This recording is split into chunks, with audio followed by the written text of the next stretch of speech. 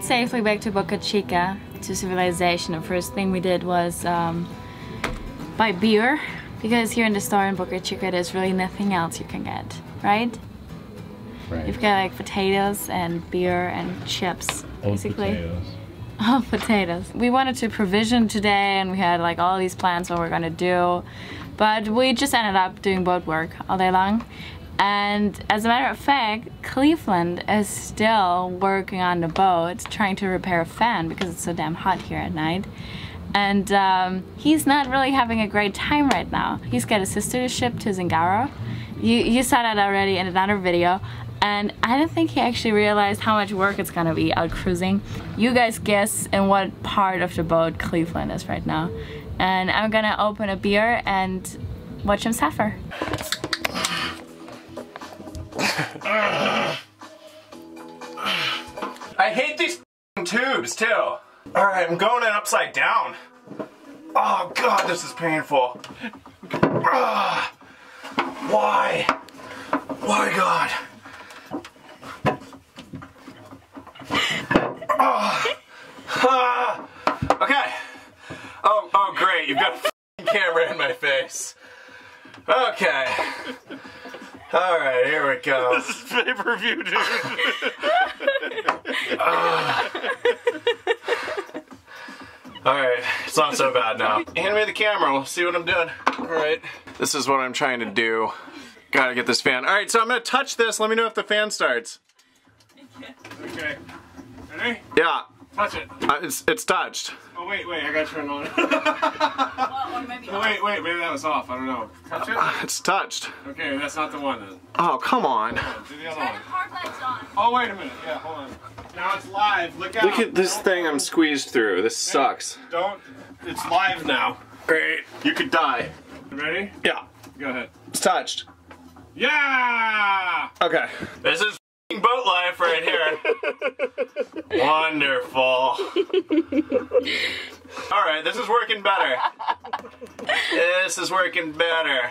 I I really appreciate that this screwdriver has some sort of magnetic thing going on and it's holding Oh yeah, look at that. the screw nicely. That's the only saving grace of this whole freaking operation. All right. Ah, can I get the can I get the camera a little more in your way? Turn it on. Am I gonna cook Cleveland? Turn it on. Maybe. I'm not touching it. Nicely done, sir. There we go. You are the man. Can you go in there and see if there's any uh, deck rot or go ahead and just squeeze through that hole around those tubes. This is the whole area I've been working on the last like fucking year too. And you don't like the tubes. No. Yeah, oh, these things? Yeah. No, that's the stupidest idea I've ever seen. Alright, well, I'm stuck and I live here now, so. We'll feed you some gnocchi. yeah, just make sure you give me plenty of water and. cool. Well, I'm glad you guys have a fan. Ow. Oh, God, it's like this rusty tank just digging into my chest. Oh, my tender underbelly. That was terrible. That's like a thing with boats, though. Is there's always some tiny spot that's just barely big enough to fit in that you have to like. You cannot be claustrophobic, which I am. so you just have to jam yourself in there and get the job done. And the whole time you just have to think about how sweet, sweet that fan is gonna be afterwards because it's so damn hot at night. I'm taking a shower. I don't care how much fresh water it takes. So that's just one job. That was for a fan. He went through that for a fan. Tell the viewers at home what's happening. I don't really know what's happening. We're either heading off to Hawaii, to Costa Rica, or we're gonna go on the islands within the next four days. Um, pretty much everything is open here. We either leave Lucy here in Panama, we take Cleveland with us to Hawaii. We it's chaos here. it really is. So Lucy's coming back in three days. Cleveland's leaving in seven days. I need to go to an embassy, to a U.S. embassy, and You any actually really country need a real. need a real visa to go to Hawaii. I hate paperwork for countries. This is the worst part of cruising for me. All right, so we're going to uh, into the town in Boca Chica from Carlos's Marina. We had been here before, but I'd never been at the marina, so we have exactly four and a half hours to get back here, and it's like an hour and a half bus ride, or else there's no more buses. So we're beating feet. El Mercato, Spanish for market. The one and only store in Boca Chica, and uh, they have potatoes, onions. Sometimes they have plantains, but that's all the produce. Oh, they they have uh, pasta now. Yeah, pasta. Okay, so we don't have to get pasta. Oh, it's full now. Ice cream they have. That was empty the other day. This would be like chicken, frozen chicken. And here's our bus ride. Because this little market doesn't have much food, we're taking the bus to the next big town, David. It's about two hours away and it's the capital of the state we're in, Chiriquí. Even grocery shopping is an adventure. It's gonna be an all-day thing, which, yeah, we don't have jobs. This is our receipt. we just spent $360 on food. We're getting loaded it, dude. So we survived the supermarket experience. Bueno, took- espera, took way piensan longer, cambiarle though. la total de Now it's too late to go to the bus, so we have to get a taxi. It cost us 35 bucks, but it's not Puede gonna quedar un take two poquitito hours to mientras get yo back llego, either, tú vienes y yeah. catamos. So we made it. Boca Chica, Panama.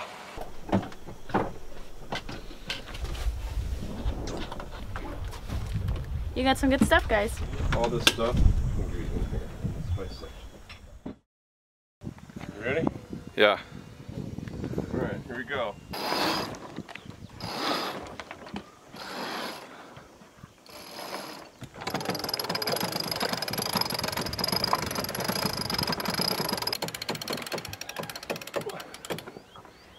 Okay. Now there's four feet. I think I have room to pull that back.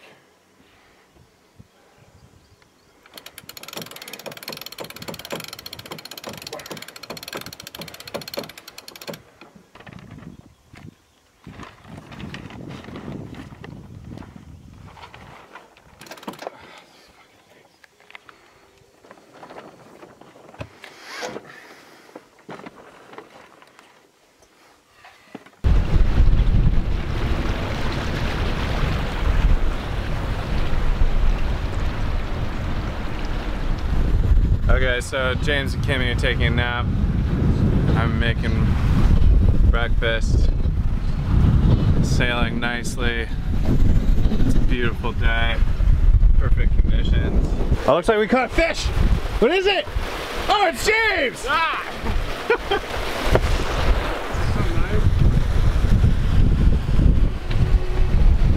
Oh, looks like I can come up. We left Boca Chica once again after filling up Talking about the main or the on everything really. You guys should see give it a this. We've never had so much food. We were, we're ready to leave to Hawaii really. All kinds of stuff. Vegetables, so many vegetables. It's more here, like a whole bag of it. Avocados, plantains we make patacones out of. That's a very typical dish here. Passion fruit, maracuyas. You probably haven't seen that in the States before. We're messing with the mainsail because still the, the roach is causing some problems for us. It's too much and it doesn't fit underneath the stay, so we have to refit two and a half times. Yeah, that's pretty much what we've been doing today. We're going back to Islas Secas, where we've been spearfishing the last time. You guys remember probably from past episodes. And yeah, not very windy, but enough. I'm having to like pull the boom all the way to the windward, pull on the sheet, the sail, so it, the battens will clear the stay. And then look at Tarzan over here. This is, this, oh God, I love sailing. Why do you want to do this again? Oh, the beach. We got to go to the beach for like 10 minutes.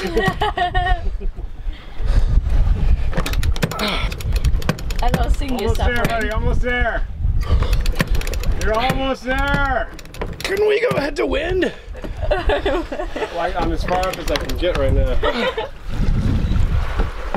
Okay, I'm gonna I'm gonna head to wind. Okay. Nice job. Nicely done, sir.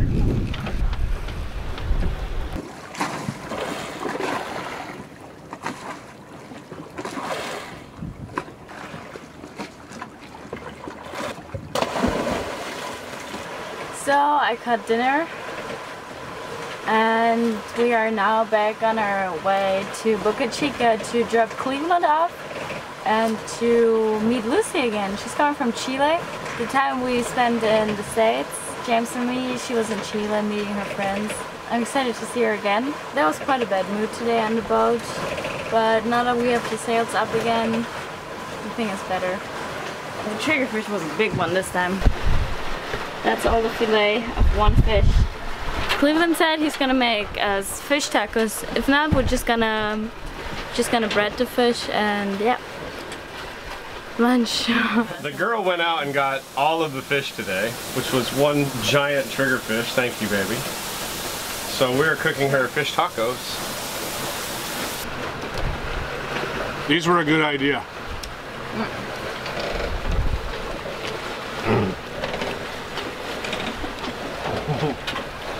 I see you speak grunt, sir.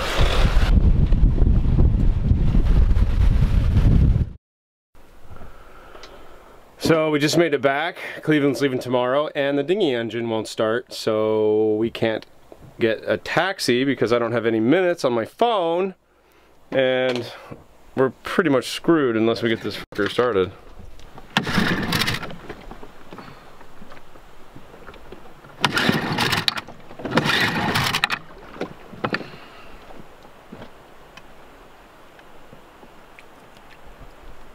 Go.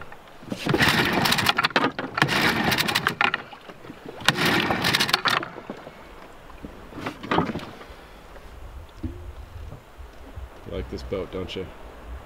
I fucking hate this dinghy. like more, this is my least favorite boat of all time. Calling it a boat is generous. hey! She can hear you. She might just sink while you're, while you're inside. Wouldn't fucking surprise me. You mean sink faster? I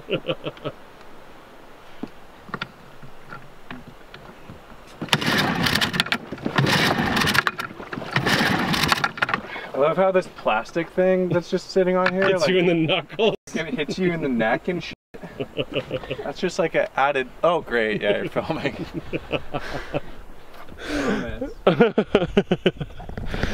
Oh, that's funny. Cleveland feels the pain. I, I find that very heartwarming because I've been dealing with this. I've been I've been dealing with this for a year and a half. You only have to deal with it for another uh, like six hours. So it's about uh, six o'clock in the morning. I'm gonna be heading out pretty soon uh, for my taxi, and I just wanted to say a few things. Uh, first of all, I just want to say thank you so much to uh, James and Kim for having me out on Zingaro. It has been the adventure of a lifetime. Um, I watch a lot of sailing on YouTube, um, like I'm sure many of you guys do. Uh, I've been a lifelong sailor. I thought I knew what cruising would be like. I've never been cruising before, and I didn't know. The, their videos make it look so much easier than it really is. It is incredibly difficult.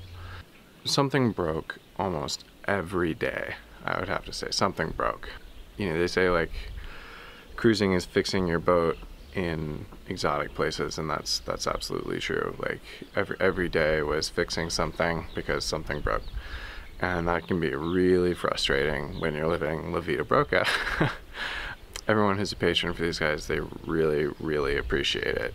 Um, so if you've been thinking about doing, you know, a couple bucks for these videos, they work really, really hard to make it happen. Um, I mean, yeah, it's great. You, you know, you're out here in beautiful places like Panama behind me, um, but you know, you're always working. You're always filming. You're always editing. You're always leaving the beautiful places to go find internet somewhere. Um, it, it it's not easy. You know, you got to sail. You know, the wind can be blowing perfectly all week, and then the one day that you've got to go back because you're almost out of water or you're almost out of food, and you've got to you've got to spearfish because you've got to catch some fish to eat something because you're super hungry, and the wind is now blowing the exact wrong direction, and you know you've got to tack a million times to get back, and you're trying to get up a river that is you know going to be super dark and you're not going to be able to see anyway. I'm just saying that it's it's hard. It's much much harder, and it takes a very special kind of person to be able to do this. This has been the adventure of a lifetime. You get to see some amazing things. I've seen eels and snakes and a million different kinds of fish. Uh, I learned to clean fish, to spearfish. Um, I've learned a lot more about sailing. Uh, you know, I've got the same kind of boat as him, so learned a lot more about sailing this kind of boat, not just not just racing, not just cruising inshore, you know, in San Francisco Bay, stuff like that. It's dirty. I've been here for two weeks. I just took a shower before I hop on my taxi to get out of here, but you I was just filthy the whole time. I mean, you're hauling up your anchor. It's it's so dirty. I don't know where all the dirt comes from, but you're just so dirty all the time. And fresh water is is the most important resource you have. It is uh, like gold. Um, so being able to take a shower is really awesome. Um, what else? It's hot as hell. It is hot as hell down here. Just so sweaty all the time. You know, no AC. I worked really hard to fix some fans and they just broke again immediately. We don't know why. That's cruising. And so you just either have to sleep outside and when you're in a river like this, you know, there's bugs and there's dew and it's not easy to sleep outside. So you have to sleep inside and there's no fans and it's really, really hot. And, you know, it's the life you choose, but it's hard. And so there's a, a good bit of trade off with uh, the amount of freedom that you get of being able to choose. Like, but at the same time, you know, it's it's tough because they're they're here. They're not sure if they're gonna go. They want to go to Hawaii, but you know, they they need to redo the rig. They need to haul the boat. Um, they don't hold that much gas or water, so there's so many considerations. You know, we wanted to go to Costa Rica, but we couldn't do that because you need yellow fever vaccinations and like original boat paperwork that they need to have faxed down here. And so then plans change. Like maybe we'll go down to Ecuador. You know, it's just it's there's so many considerations into everything you do, and you have to be really fluid, and you have to be able to go with the flow. And um, you know, I really admire these guys for what uh, they're able to do out here because they make it look a lot easier. And I know some of you are probably thinking like, no, there's no way. Like, it, you know, it looks so hard already. Like, no, they're not filming when things get hard. They're not filming when the clew sheet on the asymmetric spinnaker grabs the fishing pole and throws it in because it was the one time forgot to tie it off, you know. It's just, it's incredibly difficult. And, um, yeah, I uh, just want to say thanks again. And if any of you are thinking about becoming a patron, do it.